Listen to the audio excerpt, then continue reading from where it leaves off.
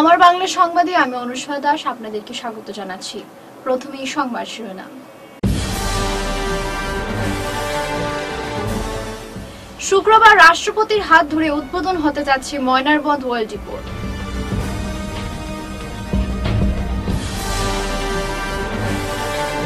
বৃহৎ পরিমাণে cough syrup বাজেয়াপ্ত।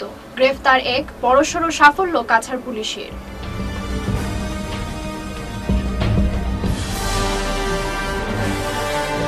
ফের অগ্নিকাণ্ড। হরিনগরে ভয়াবহ অগ্নিকাণ্ডে পুড়ে ছাই তিনটি দোকান ঘর ব্যাপক ক্ষয়ক্ষতি।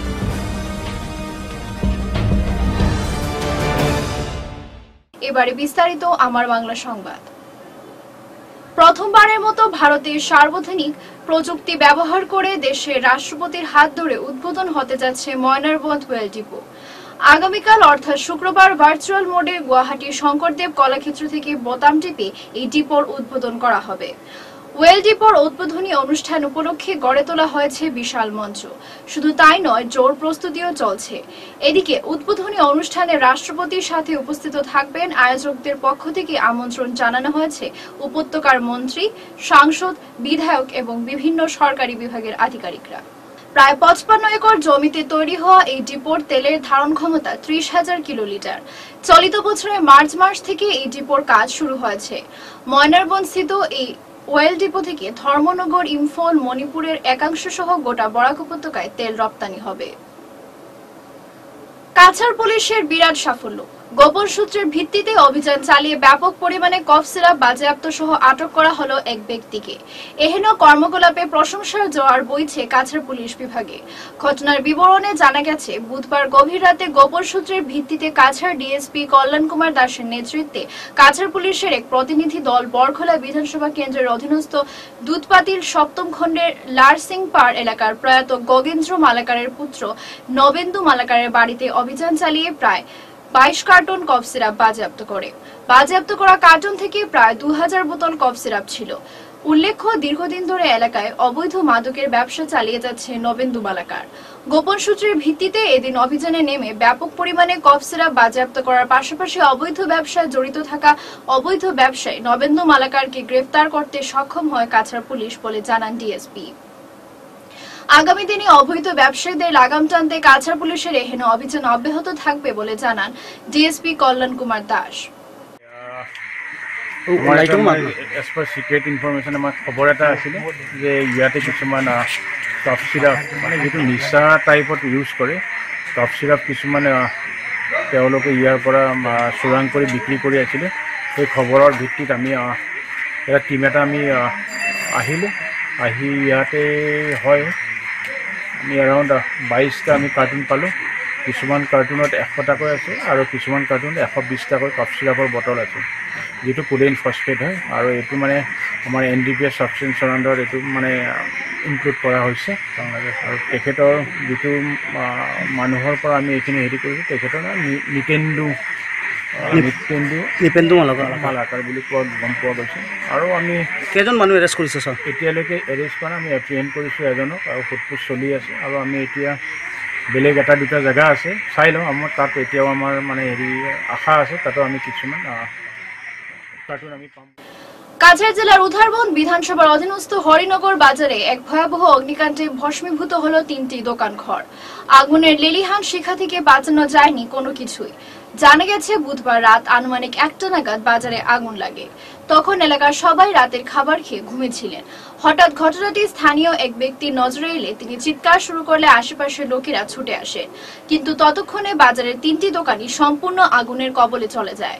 খবর পাঠানো হয় জয়পুর থানায় ও লক্ষ্মীপুর অগ্নি নির্বাপক বাহিনীকে। জয়পুর থানার অসি সুবিদ গগৈ সহ লক্ষ্মীপুর থানার এসআই বিভাসলাল সিংহ দলবল নিয়ে ঘটনাস্থলে ছুটে আসেন। আগুন নিয়ন্ত্রণে আনতে তাদের সাথে প্রায় দুই শতাধিক জনগণও প্রচেষ্টা চালান। এদিনের ভয়াবহ অগ্নিকাণ্ডে ভস্মীভূত হয় সুনির্মল দেব প্রসন্ন মেডিকেল হল। তরুণ দেবের রেস্টুরেন্ট ও নিজামুদ্দিনের টেইলারের দোকান। এতে প্রায় ক্ষয়ক্ষতির পরিমাণ সত্তর লক্ষাধিক হবে বলে স্থানীয়দের অনুমান। এদিকে স্থানীয়রা দুঃখ প্রকাশ করে বলেন যে, বিগত দু তিন বছরের ভেতর পরপর কয়েকটি অগ্নিকাণ্ডের ঘটনা ঘটেছে। তবে দমকল বাহিনীর অভাবে প্রতিটি ঘটনাতে সর্বস্ব ভস্মীভূত হতে হয়েছে। তাই বিষয়টি নিয়ে জেলাশাসক সহ ও ঊর্ধ্বতন কর্তৃপক্ষের কাছে বিশেষ অনুরোধ করে জানান যে, অতি সত্বর যেন একটি দমকল বাহিনীর গাড়ি সমগ্র জয়পুর এলাকায় সুরক্ষার স্বার্থে জয়পুর থানায় রাখতে। এদিকে ঘটনার খবর জানতে পেরে উধারবন্দির বিধায়ক মিহির কান্তি সোম এসে দোকান মালিকদের সাথে দেখা করে খোঁজ খবর নেন বলে জানা গেছে।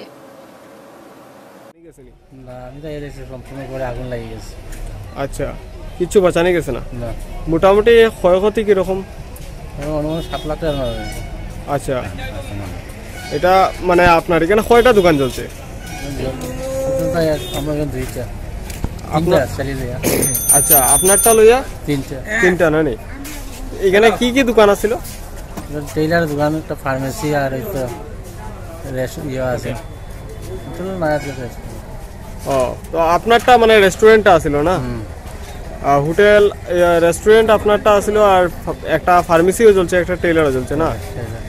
আনুমানিক মানে তিনটা দোকান মিলিয়ে কেমন ক্ষয়ক্ষতি হইতে পারে আপনার ফার্মেসির কত লাখ টাকা একশো তার ফার্মেসি আছে আচ্ছা আচ্ছা আচ্ছা ঠিক আছে। তো এমনি ফায়ার ব্রিগেড কোন সময় আইছে? ফায়ার ব্রিগেড দুইটা পনেরো হয়েছে দুইটা হয় না নি? তো এর আগে মানে কিটা স্থানীয় মানুষের সহযোগিতাতে এই আগুনটা নিবারণের চেষ্টা চলছে না গ্রামের মানুষও নিয়ে গেছে আচ্ছা। তো মানে ফায়ার ব্রিগেডের আইতে লেট হয়েছে নিশ্চয়? একটা গাড়ি তো আওয়ার পরে তো জলও নাই এখানে শর্ট হয়ে গেছে জল। আচ্ছা। আবার গিয়ে জল নেই পরে গাড়ি একটা পরে একটা চারটা গাড়ি আছে করিমগঞ্জ বাবা হোটেলের সামনে স্কুটি, লরি মুখোমুখি সংঘর্ষে আহত হলেন এক যুবক। আহত যুবক করিমগঞ্জের বনমালী রোডের বাসিন্দা নাজিমুদ্দিন। ঘটনার বিবরণে জানা গেছে, বৃহস্পতিবার শহর সংলগ্ন বাখরশাল এলাকার বাবা হোটেলের সামনে শিলচর রোড এবং করিমগঞ্জ বাইপাস সড়ককে সংযোগকারী পয়েন্টে এই দুর্ঘটনাটি সংঘটিত হয়েছে।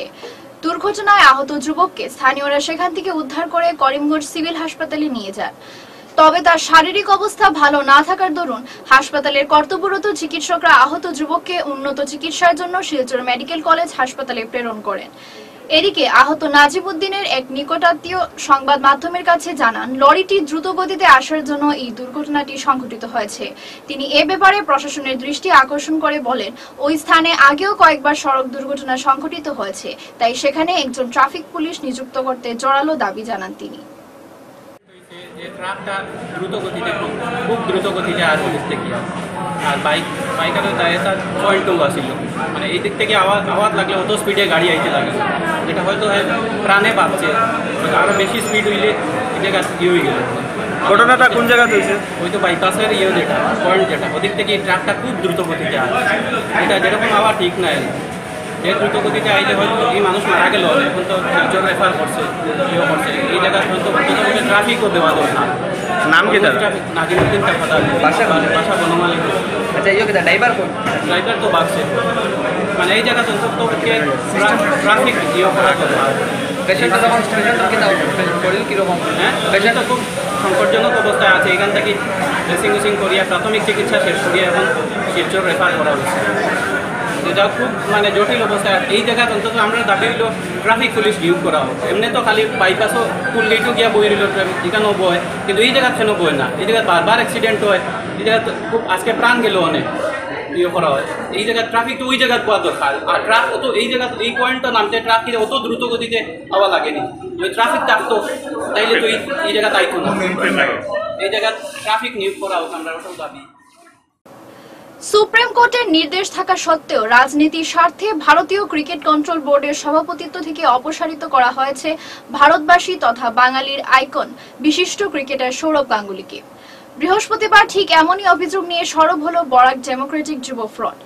এক প্রেস বার্তায় যুব ফ্রন্টের কার্যকরী আহ্বায়ক দেবায়ন দেব জানান, ভারতীয় ক্রিকেটে সৌরভ গঙ্গোপাধ্যায়ের অবদান চিরকাল স্বর্ণাক্ষরে লেখা থাকবে। শুধু ক্রিকেটার বা ভারতীয় দলের প্রাক্তন অধিনায়ক হিসেবে নয়, একজন ক্রিকেট প্রশাসক হিসেবেও সৌরভ গাঙ্গুলির অবদান যথেষ্ট উল্লেখযোগ্য।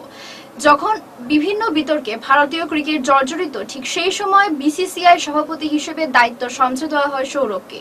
তিনি এও জানান, বিজেপি দলে সৌরভ গাঙ্গুলিকে যোগদান করাতে উদ্যোগ নিয়েছিলেন কেন্দ্রীয় মন্ত্রী অমিত শাহ। কিন্তু প্রাক্তন অধিনায়ক সেই প্রস্তাবে রাজি হননি। কিন্তু মন্ত্রী অমিত শাহের পুত্র জয় শাহ যদি দ্বিতীয়বার বোর্ডের প্রধান সচিব হিসেবে বহাল থাকতে পারেন, তবে সৌরভের ক্ষেত্রে এই নিয়মের অনর্থা হবে কেন এ নিয়ে প্রশ্ন তোলেন তিনি। দেবায়নেও বলেন, এর পেছনে স্পষ্টতই হিন্দি বলয়ের বিজেপি নেতাদের বাঙালি বিরোধী মনোভাব সক্রিয় ভূমিকা নিয়েছে বলে জানান। প্রাসঙ্গিক বক্তব্য রাখেন যুব ফ্রন্টের আরেক আহ্বায়ক বাহার আহমেদ চৌধুরীও। জয় শাহ বিসিসিআইয়ের মুখ্য সচিব। দ্বিতীয়বার কেন মনোনীত হয়েছেন? আমাদের প্রশ্ন। সুপ্রিম কোর্টের নির্দেশ থাকা সত্ত্বেও তাকে বিসিসিআই সভাপতি পদ থেকে সরিয়ে দেওয়া হয়েছে। এর পেছনে বিজেপির বাঙালি বিরোধী এজেন্ডা কাজ করছে। আমরা জানি বিডিএফ জানে যে গত নির্বাচনের সময় বেঙ্গল, বেঙ্গলের যে নির্বাচন হয়েছে, তাতে স্বয়ং অমিত শাহ সৌরভ গাঙ্গুলিকে বিজেপি দলে যুক্ত করার জন্য একটা উদ্যোগ নিয়েছিলেন। কিন্তু তাতে কোনোভাবে সৌরভ রাজি হয়নি। এতে বাংলায় বিজেপি মুখ থুবড়ে পরাজয়ের শিকার হয়। তাই সেই কারণে সৌরভকে দ্বিতীয়বার বিসিসিআইয়ের সভাপতি হিসাবে মনোনীত করা হলো না। কিন্তু আমরা জানি সৌরভ গাঙ্গুলি, ভারতীয় সভাপতি হিসাবে যে প্রগতিকল্প পদক্ষেপ গ্রহণ করেছেন, তাতে ভারতীয় বোর্ড এবং ভারতের ক্রিকেট দুটোই উপকৃত হয়েছে। আজাদি কা অমৃত মহোৎসব উপলক্ষে কেন্দ্রীয় সরকারের যুব ও ক্রীড়া বিষয়ক মন্ত্রকের উদ্যোগে শুরু হওয়া freedom rider bike rally Jiribam সীমান্ত দিয়ে শুক্রবার কাছের জেলায় প্রবেশ করবে। র্যালিটি বুধবার শিলচরে আসার কথা ছিল, কিন্তু অনিবার্য কারণবশত শিলচরে আসতে দেরি হয়েছে। র্যালিতে অংশগ্রহণকারী পঁচাত্তর জন স্বেচ্ছাসেবী শুক্রবার শিলচরে রাত কাটাবে। শনিবার সকাল ছয়টা পঁয়তাল্লিশ মিনিটে জেলা প্রশাসনের পক্ষ থেকে তাদের শিলচরের গান্ধী ভবনে সংবর্ধনা দেওয়া হবে।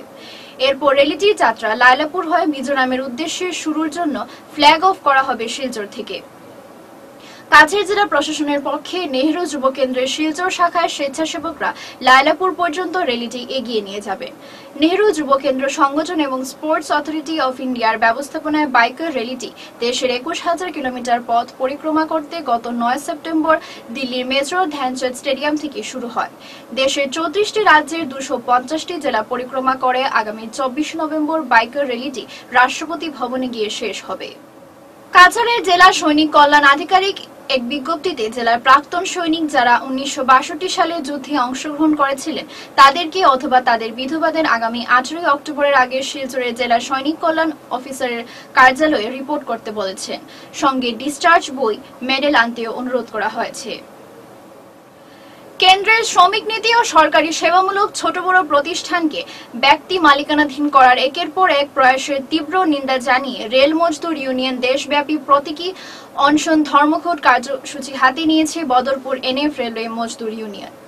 লাগাতার রেল বেসরকারীকরণ নিয়ে প্রতিবাদে মাঠে নামেন তারা। বদরপুর রেলওয়ে ফুট ওভারব্রিজের পাশে জনসভায় কেন্দ্রের শ্রমিক নীতির তীব্র নিন্দা জানান বক্তারা। তাছাড়া সব প্রতিষ্ঠান থেকে বেপরোয়া কর্মী ছাঁটাই পদ বিলোপের প্রতিবাদ জানিয়ে বিজেপি সরকারের কড়া সমালোচনা করেন। বিভিন্ন লাভজনক ও পরিষেবা ক্ষেত্রকে ব্যক্তি মালিকের হাতে তুলে দিয়ে সরকার দেশের মানুষের সর্বনাশ ডেকে আনছে বলে মন্তব্য করেন তারা।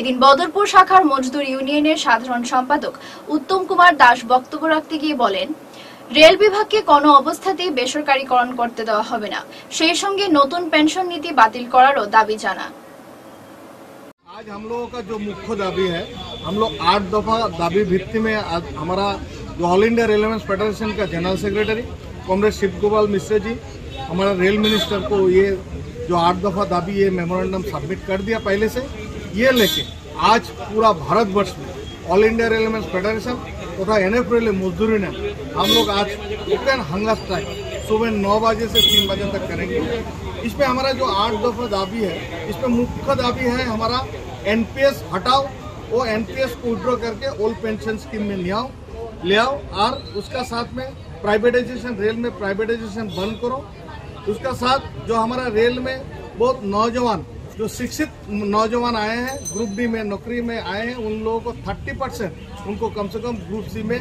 उसको इम्प्लीमेंट किया जाए ऐसे सारे आठ दफा दाबी लेके आज हमारा सारा भारतवर्ष में जितना हमारा रेल सेक्टर है सारा रेल सेक्टर में हमारा दाबी आज बैठे हुए हैं हम लोग नौ बजे से तीन बजे तक बैठेंगे ये हमारा मूल है एनपीएस का बारे में मूल दाबी কাছাড় জেলার শালচাপড়া গ্রাম পঞ্চায়েতের সভাগৃহে বৃহস্পতিবার এক প্রতিবাদী সভা অনুষ্ঠিত হয় এই সাধারণ সভার আহ্বান করেন উদীয়মান ট্রাক ওনার অ্যাসোসিয়েশনের সদস্যরা।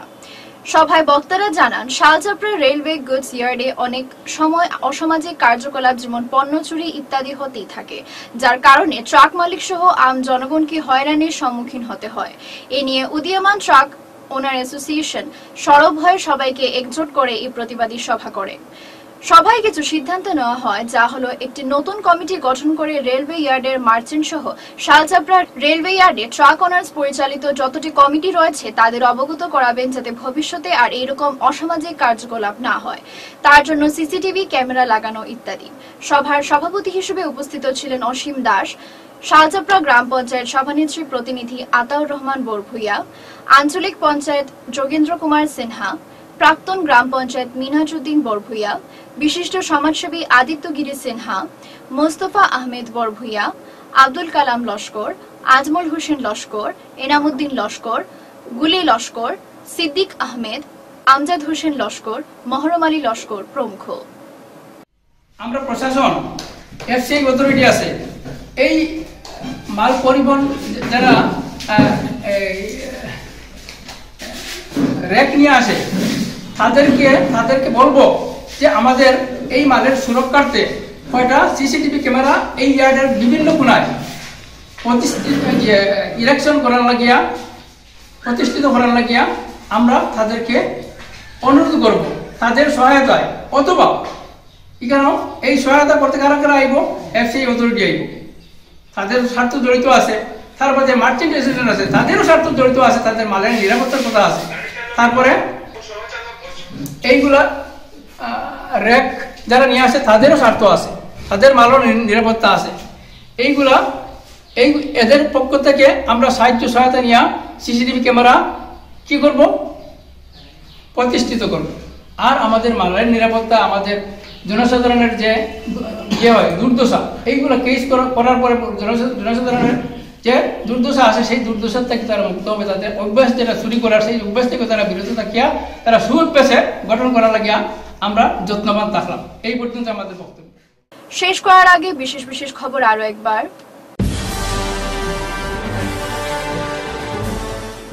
শুক্রবার রাষ্ট্রপতির হাত ধরে উদ্বোধন হতে যাচ্ছে ময়নারবন্দ ওয়ার্ল্ড রিপোর্ট।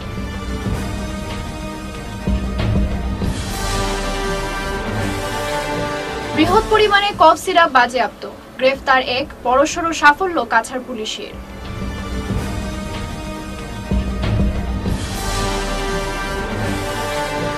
ফের অগ্নিকাণ্ড। হরিনগরে ভয়াবহ অগ্নিকাণ্ডে পুড়ে ছাই তিনটি দোকান ঘর ব্যাপক ক্ষয়ক্ষতি।